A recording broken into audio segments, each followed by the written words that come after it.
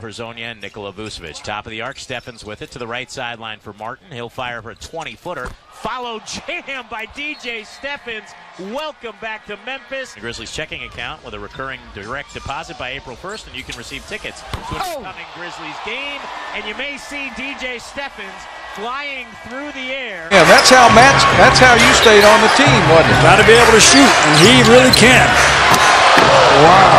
How about that alley oop? Stephens went way up for that. to the bench, a lot of times things fell apart. Well, and we'll see what happens when Ricky goes to the bench. Ooh, goodness. Strong take and the dunk there by DJ Stephens. Daniels from the wing. Z-Bo inside for two and one. Little backdoor play won't work. Good defense by Houston. Three pointer from the outside, good. Basketball for what could be the final shot. No, they're going to go right to the bucket and force up one, and it counts. What a basket!